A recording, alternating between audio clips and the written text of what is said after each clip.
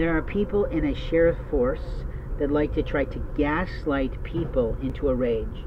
They harass, harass, and harass all day long with sexual assault, physical abuse, and technological, what should we call it for them, titillation.